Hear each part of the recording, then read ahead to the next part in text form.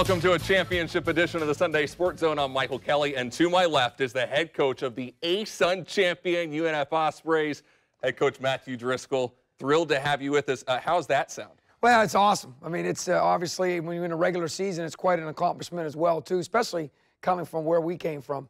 But to go turn it around now and go through a three-game and home court advantage. How cool was the arena today?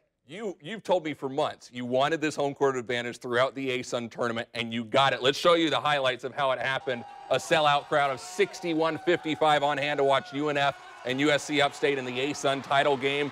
Coach, you started slow early, but uh, Dallas Moore, you needed this. Well, you know, the one thing about Dallas is he's so creative and so crafty. When he gets into his mid-range floater game, especially off two feet and gets his shoulders square and his hips right, he really can knock them down. And you know, there goes Bebe Daniels. He was stretching on the table before the game, and I said, listen, you can space them. You can make their forwards come out and guard you. If you're open from three, you got to let it fly. And he did, and here's his second one in the corner. UNF goes up 16-8 thanks to back-to-back -back threes from Bebe. And, Coach, he was just heating up, even down low. Daniels. He really has a great opportunity because he's got a game that he can take the ball to the rim. We talk, call him a three-level scorer. Then he can go the hook shot like he hit late. I mean, he's got a, a, variety of shots that he can do and really knock things down. The second half, here comes Ty Greene. You kept him quiet for the first half, but kind of started to heat up an 11-0 run for the Spartans, and they took the lead. Well, when they took the lead, it was 36-34, and I told the team, listen, it's the same as at the beginning of the game when it was 2 to nothing. So just start playing, and then Chris Davenport is such a great passer. We're blessed to have him and Bebe. He finds Jalen Nesbitt South Carolina native from Spartanburg for a three. And then Daniels off the miss from Moore. Oh, good give me night. That. Yeah, I'll tell you what, he, he definitely has the ability, so long and so active and so smart. And then the defense from Davenport, that sets up this. Dallas Moore, prettiest pass of the game? I say yes. Coach, you? Absolutely.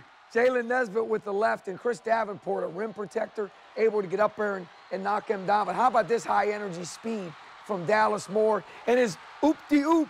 He loves. He might be the fastest player on the ah, court at this. He point. loves that little oop-de-oop. He did it against Purdue too. At, at Purdue. A six-point lead for the Ospreys, and then how do you close this? Jalen Nesbitt's wide open, coach, but Bebe goes, "This is my game." Yeah, he said, "Let me give them a little post-up game here on the guard."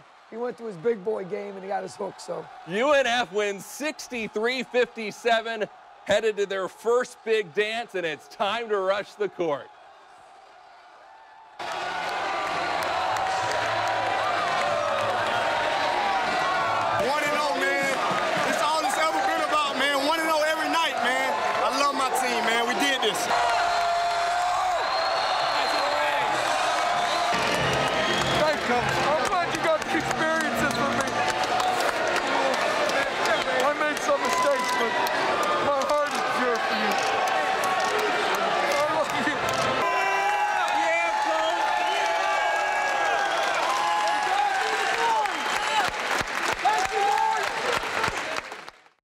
Coach, as you look back on that, you're starting to tear up a little bit. Well, you know, I just you, you don't realize how much stuff goes through your mind what you're doing there, and if you have any idea what it's like being a coach and and and having children, and if you don't, if you're not blessed with a great wife and someone that truly understands and is all in, in the sense that meals in the office, bringing the boys down to hang out with me in the office. I mean, just uh, tr treating all the players like they're one of her own. I mean, there's so much that goes into being a wife of a coach, and to have her and Paxton up on the ladder with us, cutting down the net after Chase got his own deal to do it by himself. Pretty special to have your son on the team. Let's talk about the crowd. 61-55. We knew it was going to be packed. You begged, if not pleaded, for this place to be sold out, and you got your wish. What can you say about them? Well, the one thing, Michael, that we talked about is when we got the job, we talked about home court advantage and how, critical it should be and how important it should be for the teams that finish out better. They should get that advantage. And when I came out of my car day to walk over, and the students were lined up all the way to the tennis courts, I was like, whoa, do we have enough seats? You know what I mean? That's what I started thinking, is I don't want people being disappointed. So, man, and there was a couple plays today where it got so loud the floor was shaking. I mean, it was it was electric. Electric we thought 5,800 was a sellout, and you still managed to fit an extra 355. How'd you do it? Well, first of all, you got to talk to the fire marshal, make sure you're good there. But but but the one thing is like, like Mo Casera did the game for ESPN, and and Mo said that they've done a lot of games in some big environments in some big time games, but they've never felt that like electrified and that like like everybody was like so intense and the playing was intense, the players were intense.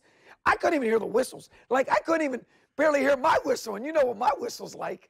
Let's, uh, you, speaking of intense, we want to show you this. Stephen Putnam has really turned into this UNF celebrity in the last couple weeks. What's it like watching him? I've never seen him. You've never, so enjoy this. This is the first time I saw him today. And we've had some boosters and some alumni help provide some books and some scholarship situations for him because he just get it gets him going. Look at the water.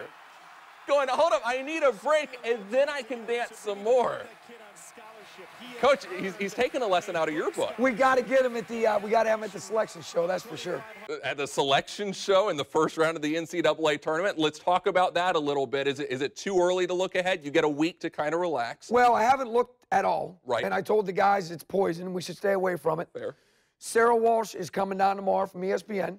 They're going to do a special on the university and on the on the program and kind of how it's developed. And I'm sure Steven's going to be on it as well too, doing his deal. Uh, turn down the what I think is what he does it too. Yep. But the other night, if you remember, Jalen got the dunk, and they called timeout in the semifinals, and it happened to be scripted that that was the song they played. So that's why the arena just kept going crazy because of him.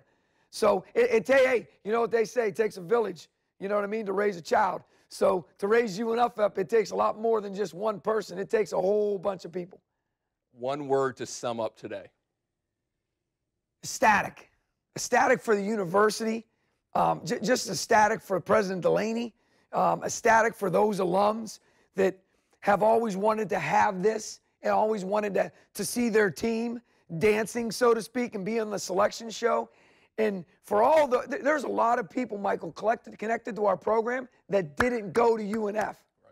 And, and they bleed blue and gray, though they have a, an- a, a degree from somewhere else. But they love our university. And, and because of that, I'm ecstatic for everybody involved. Well, enjoy the win, enjoy the trophy, enjoy the NCAA tournament. We cannot wait to follow you. Congratulations on everything. Thank you, my brother. Still to come on the Sunday Sports Zone. Much more. Pull out the checkbook because it's time to get paid. Julius Thomas, DeMarco Murray, both free agents. Is one of them coming to Jacksonville? Mike DiRocco of ESPN.com in studio next.